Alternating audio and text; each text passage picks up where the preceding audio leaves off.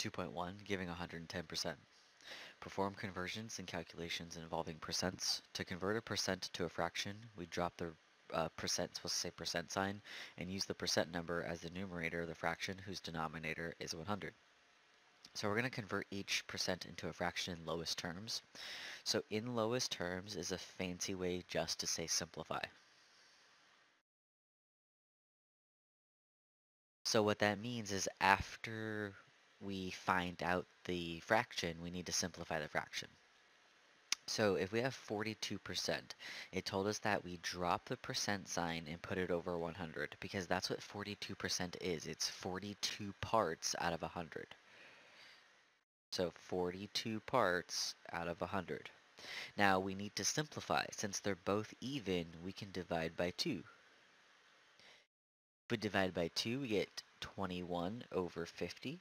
And we can't keep going because 21 and 50 have nothing in common. So there we go. That is 42% as a fraction. Alright, so 37.5%. So we don't work with mixed numbers. That's what this is. This is a mixed number because it's a fraction and a whole number.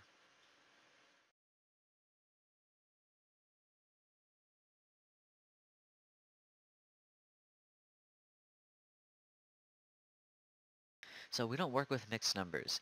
So what we do is we add or multiply, then add. So let's bring this down and work with it. So 37 and 1 half. So what we do is we multiply, then add. So the first thing we do is we multiply 32 times, sorry, 37 times 2. So 37 times 2, we get 74. And then what we do is we add 1. So we get 75.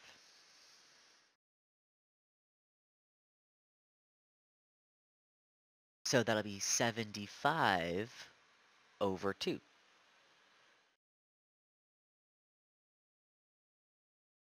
So 75 over 2 is the same thing as 31 and a half. And then now what we do is we have to figure out what is this as a fraction of parts of 100. So what we do is, because remember this entire time this is, has a percent. So what we do is we drop the percent and put it over 100. Now this looks horrible. This looks so nasty. Let's rewrite this. So all the fraction bar is, is a division symbol. So we have 72, sorry, 75 over 2 divided by 100 over 1. We keep change, we flip. We keep the first one. We change the sign, we flip the second one.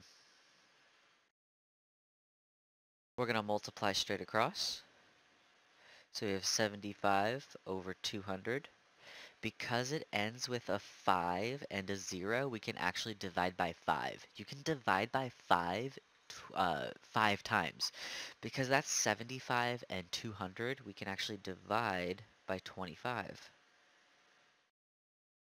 And when we divide by 25, we're left with 3 over 8.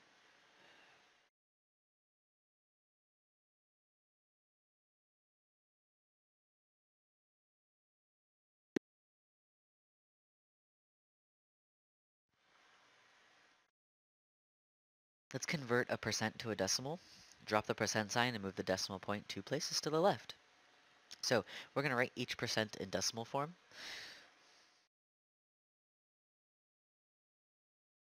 So right now, the decimal point is right there. So what we do is we move it two times.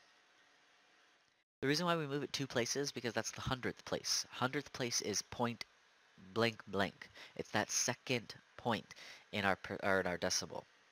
So we move it twice. And we get 0.41. Alright, so 6.7%. So where the decimal is, we just move it twice. One, two. We need a placeholder. So since we need a placeholder, we just put our little placeholder. So we get 0.067.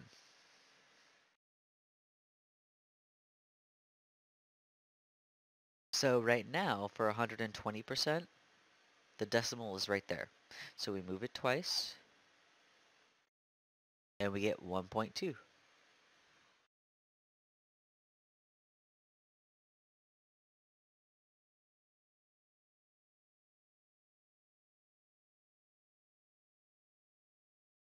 Finding percentage of a dinner bill.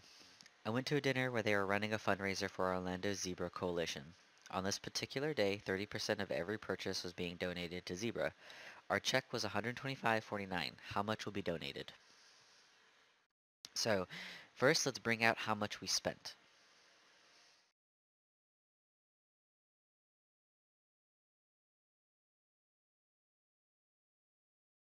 So we spent $125.49, and then it says 30% of every purchase is going to go to Zebra.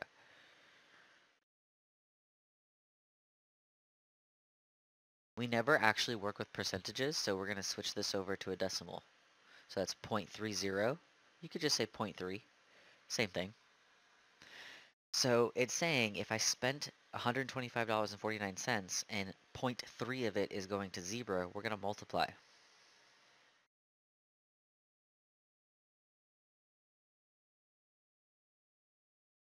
When we multiply by 0.3, we get 37.647. Since we're talking about money, we're going to round this to money, so 37.65.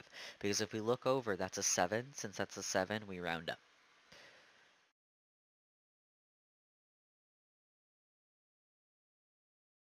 A store at an outlet mall is offering 70% off a jacket that is that is sale priced at $59. What was the original price of the jacket? Alright, always bring out your given. So the given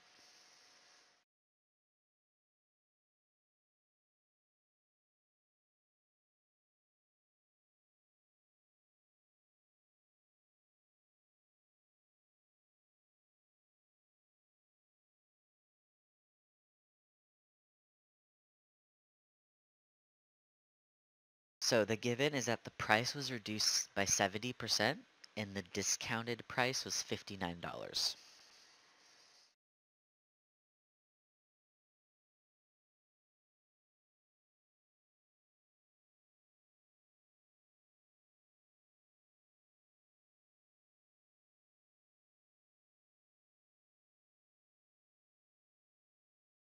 So because the sale was 70% off, that means the sale price is 30% of the original price, because that's how much left over to get to 100%.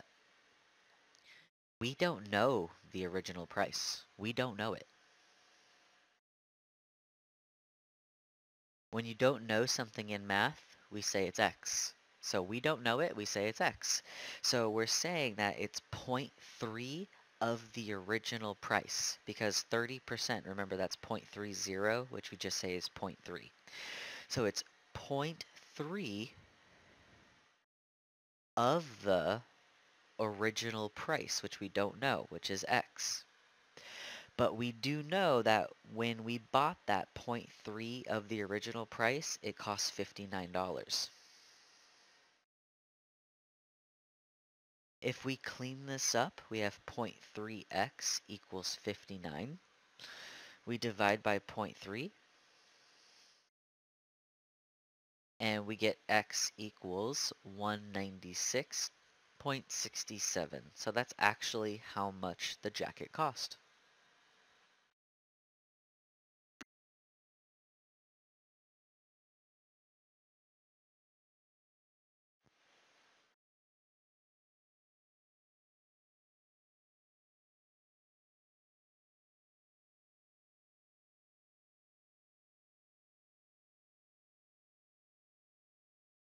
A real estate developer is looking for investors to help fund a new condo complex. They promise a 145% return on investment in four years.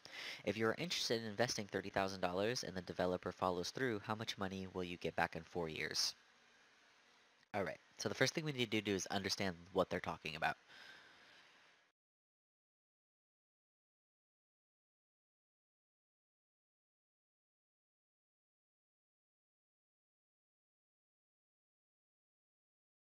So the promise was if we invested we get 145% in return.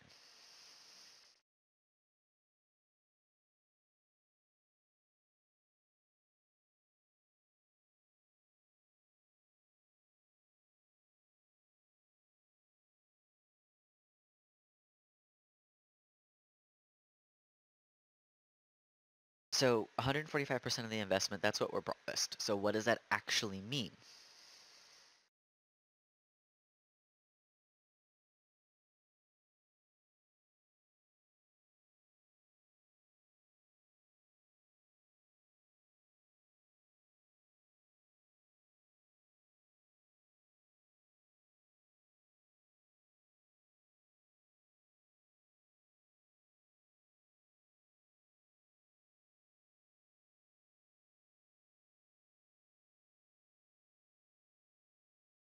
So what this means is you're going to get an investment back plus the 145%. So our second step is to calculate. So in order to calculate, we need to put 145% first of all into a decimal. So 145%, we move the decimal place twice, that'll be 1.45. 1.45 is 145%. So our return, it stands for our investment because that's how much we're putting in.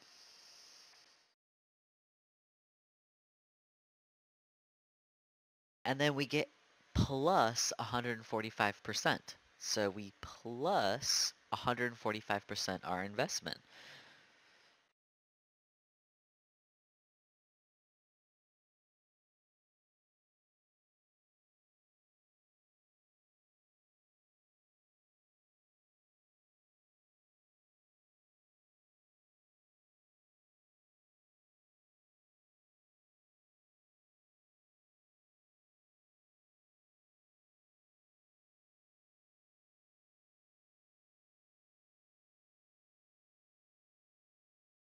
So what we do is we have our investment, that's how much we put in. Then it says that if we invest, they promised that we'll get our investment back and 145% of that back. So our investment was 30,000.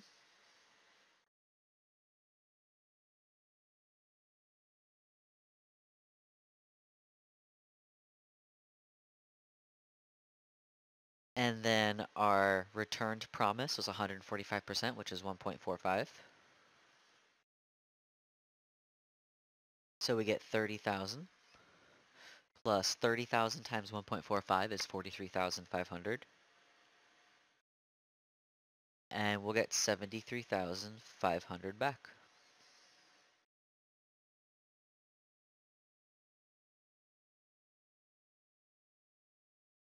Computing percent increase and decrease. When some quantity gets larger, we calculate the percent increase using the formula. Percent increase is the amount of the increase over the original price, and that's the same thing as the new amount minus the original amount over the original amount. If it gets smaller, for a percent decrease, we put the amount of decrease over the original amount. It's the same thing, just new amount minus original amount over original amount. In each case, the result is a percentage in decimal form. Percent increase and decrease are also sometimes called percent change or relative change. In effort to show solidarity with her workers, the CEO offers to take 300,000 per year pay cut. Last year, her salary salary was 11 million. Find the percent decrease in pay. All right, so first we need to find her new salary because she took a pay decrease. So her new salary, she was originally making 11 million. And then she took a $300,000 cut. So minus 300,000. So we get her new uh, salary at 10 million 700,000. And she took a pay cut. She decreased. So we're going to use this formula.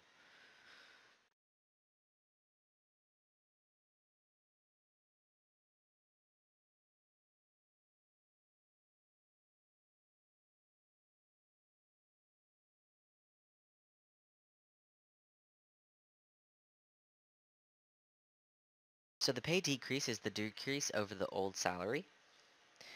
So our decrease, what she's making now, or what she took the cut, was 300,000. And her old salary was 11 million.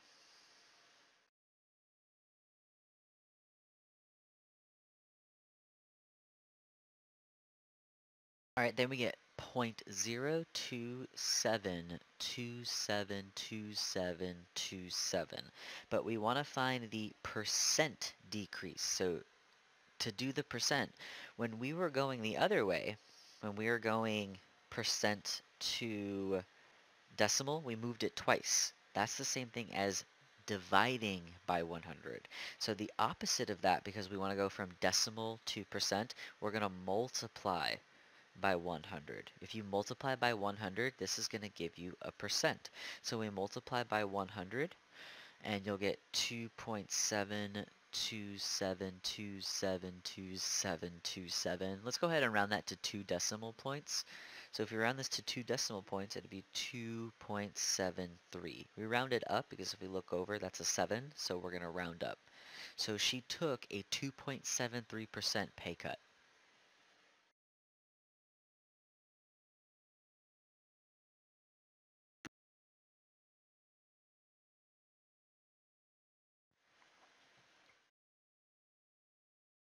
A refrigerator has a regular price of $1,100.49, or sorry, uh, $1,149 at Home Depot and $1,219 at Lowe's. Home Depot is offering 15% off, but Lowe's is offering $200 off if ordered online and picked up. What's the better option? Alright, so we have two places to go to, Home Depot and Lowe's. Let's figure out Home Depot first. So Home Depot, the original price was $1,149. But they say that Home Depot is 15% off. So we know 15% is actually 0.15. Alright, so let's figure out how much that is going to cost if it's 15% off. So 1,149 times 0.15 and we get $172.35. So that's how much we take the discount for. So let's figure out how much we're paying. So 1,149 minus 172.35 and we get $976.65. So at Home Depot, this fridge is going to be $976.65. Now let's talk about Lowe's. At Lowe's, the same fridge is $1,219. And it told us that it's $200 off.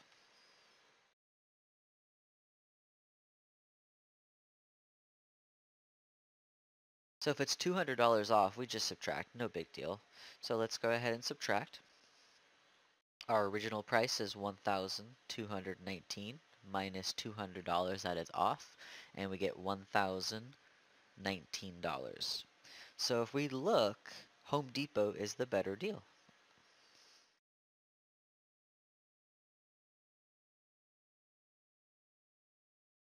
So you should buy this fridge at Home Depot. You're going to save like 30, 40 bucks.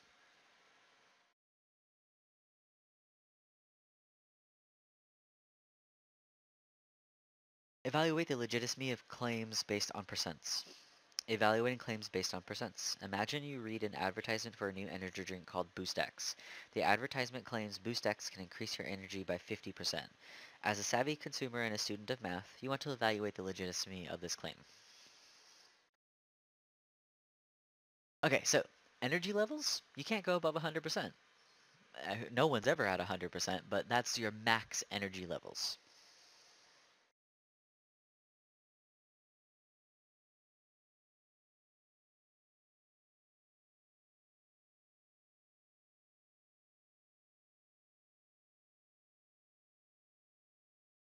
All right, so let's say energy is E.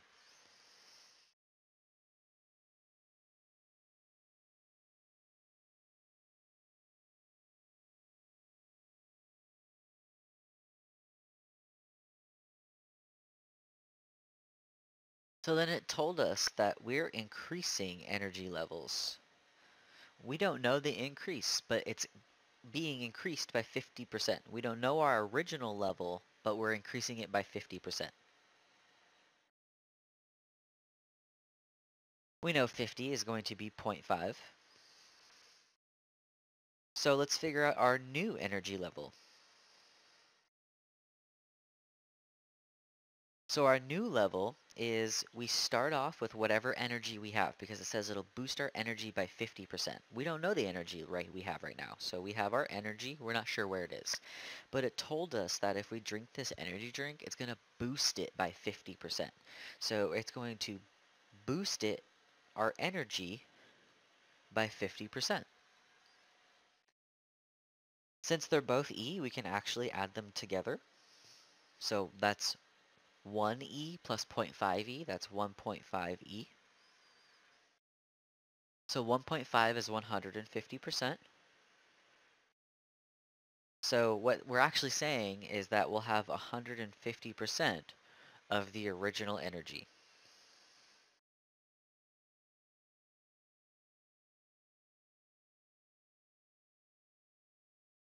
Now that the claim boost X boost X can increase your energy by 50%. It's mathematically accurate if it means your energy level would be at 150% which of what it originally was. This increase represents a significant boost in energy if the product delivers as advertised. So basically it gives you that big boost of energy. Really, we did this example just to set up variables and combine like terms and stuff like that.